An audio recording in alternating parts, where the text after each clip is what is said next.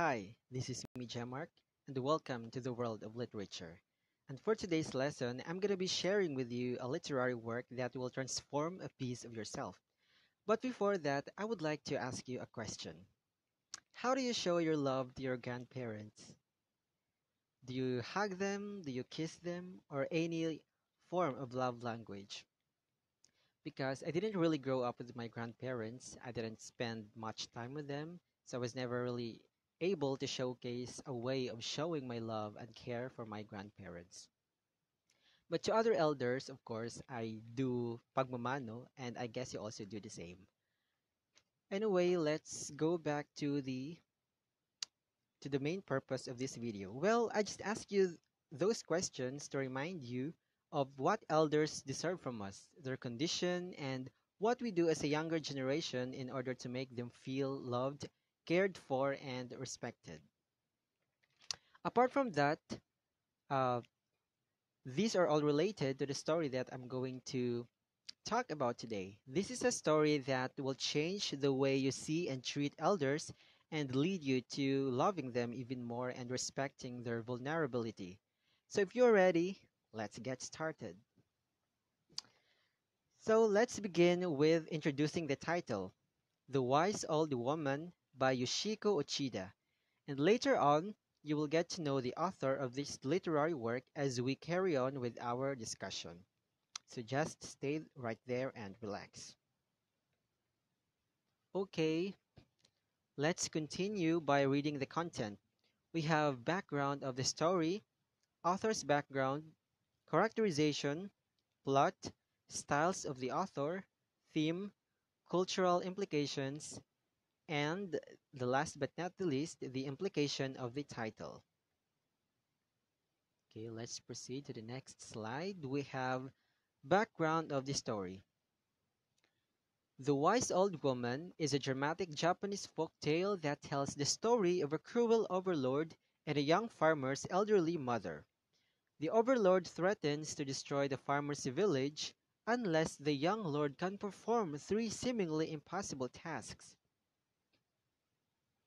So in this part of the analysis, there are four things being introduced to us. What are those? The first one is that it tells us about what kind of literary work The Wise Old Woman is, which is a Japanese folktale as mentioned above. The second one is that it tells us what the story is all about. The third one is it introduces to us the, the primary characters of the story and the last one is that it reveals the conflict of the story. Okay, next slide. The author's background. Yoshiko Uchida was born in Alameda, California on November 24, 1921. She graduated from high school at 16 and enrolled at University of California, Berkeley. Uchida became widely known for her 1982 autobiography Desert Exile, one of several important autobiographical works by Japanese Americans who were interned the portray internment as a pivotal moment in the formation of the author's personal and cultural identities. Okay, she wrote this Desert Exile as her autobiographical account of her life before and during World War II. Okay, the next.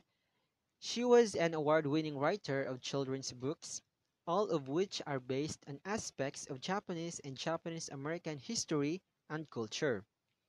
A series of books starting with Journey to Topaz in 1971, Invisible Thread in 1991, and a novel centering on a Japanese American family which is which is Picture Bride in 1987. So, as you can see, as you can observe, most of her literary works as an award-winning writer focus only on the children's literature. Okay, let's proceed to the characterization. So here are the characters of the story, The Wise Old Woman. We have the aged mother, the young farmer, and Lord Higa.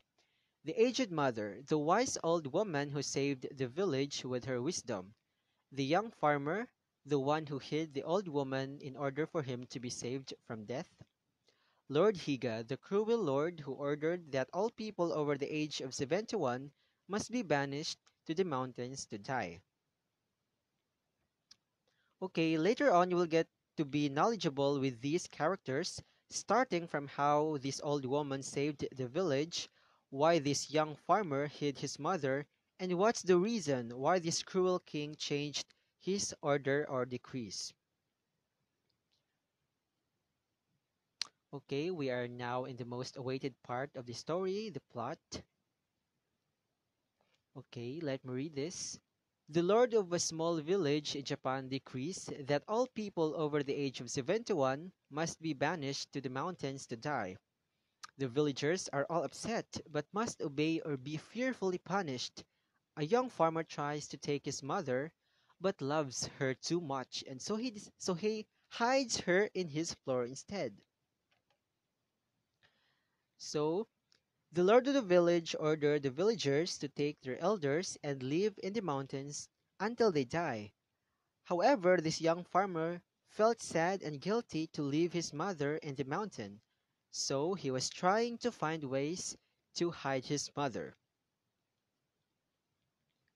Next, Lord Higa wants to conquer the village and sends over the impossible task of making 1,000 ropes out of ashes no one can solve the riddle until the farmer asks his mother, who tells him to soak a rope in salt water and then burn it. The farmer tells the Lord and saves the village. So, as you have observed, the Lord sent three impossible tasks.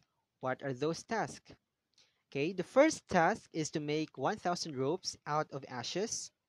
So the old woman solved the first task by wetting the rope in salt water and letting it dry, and when it was burned, it would hold its shape. So, the first task, the woman already showcased her brilliance by solving the problem of their village. Okay, let's proceed to the next slide. Lord Higa sends over two more tasks, one after another. The second task is to wind a piece of silk through a log with holes and curves. The mother solves this by telling the farmer to tie a piece of silk to an ant and put some sugar at the end.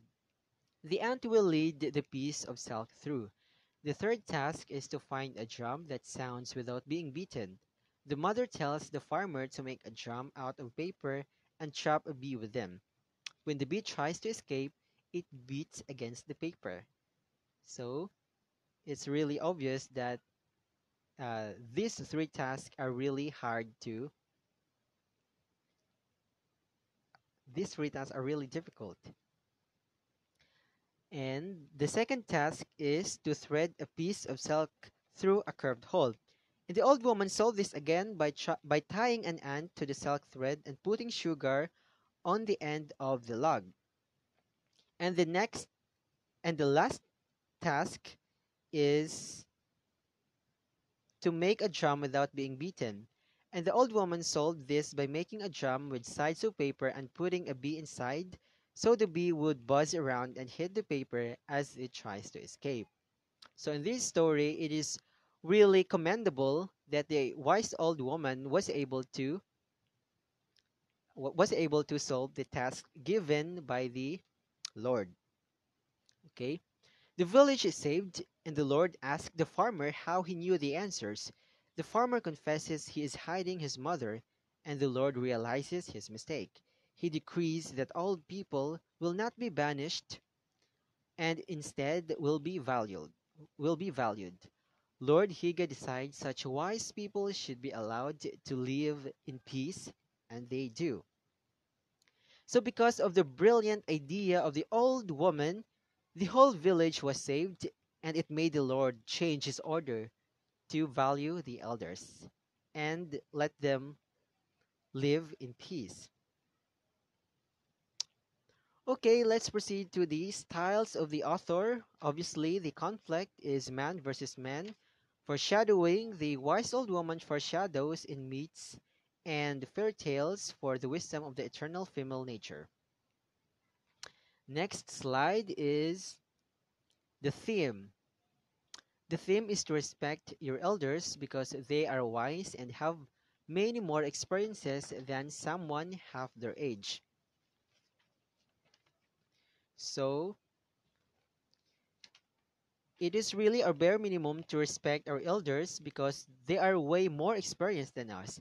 Not only do they res- not only do they deserve respect because of that, but also we would not be here if not for them, obviously. And however, this is however some people wait, wait.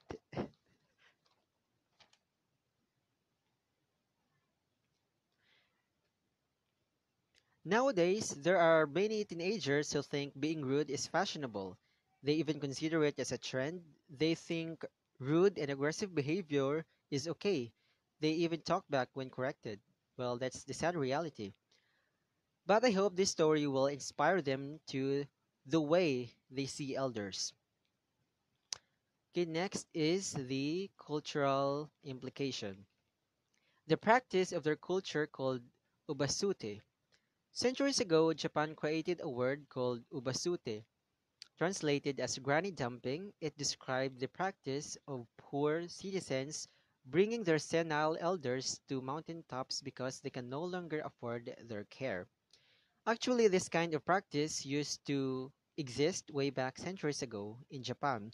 They would really abandon their elders. They were carried to the mountains or some other remote and desolate places and left there to die. How sad. But now it's no longer being practiced in Japan. In fact, elders in in Japan are treated with utmost respect. Many Japanese families have several genera- generations living under one roof, just like here in the Philippines. And according to the study, it is one of the many reasons, one of the many reasons that in Japan, elderly people live longer than any other population. And these are more and there are more elderly citizens in Japan than young people. And the government are also giving a lot of benefits and extensive care services and professional support. These are just few of the main reasons why Japan is an elderly friendly country. And also here in the Philippines, we are lucky, and it's good that it's not mandatory to send our elders to home for the aged, unlike in other countries, especially in Western countries. They when, the their, their parents reach the age of 60, they are obliged or they are mandated to live in the, the home for the aged, away from their family. And lastly, we have the implication of the title. The title, The Wise Old Woman, simply implies that this old woman is full of wisdom due to her brilliant idea of how to solve the problems in the village. So basically, the title itself has something to do with the wisdom of the old woman. And this speaks a lot about how brilliant elders are because of their experiences in life. As and that's why we should be grateful to them. They deserve to be loved. They deserve to be respected. They deserve all the comfort from us. And I think it's about time to reciprocate the love that they have made us feel. So, as I have said, it's really our bare minimum to respect and love our elders because they are way more experienced than us. And that's enough. That's enough reason for us to respect, care, and love our elders. So that's the story of the wise old woman. So I hope you have learned a lesson from the story today and apply it to your daily living. That's the end of our discussion. Once again, this is Jemark Ortega. And if you want a lot more of my video, just press the subscribe button and don't forget to click the notification bell so you'll be notified on my next video. Thank you and God bless us. But wait, I would like to remind you after seeing this video to never hesitate to show whatever language you have with your grandparents. You can go kiss them, you can go hug them, or you can say I love you. Make use of every single moment that you have with them. Because if not, you might regret it later. Once again, thank you so much for watching this video.